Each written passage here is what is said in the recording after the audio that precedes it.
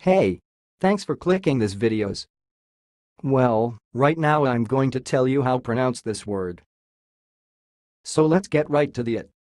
Khotsialov. Khotsialov. And now a little bit slower. Khotsialov. Khotsialov. That's all, thanks for listening. If you liked this video, please subscribe to my channel. If you want to share your opinion, please leave comment for this video. Thanks and goodbye.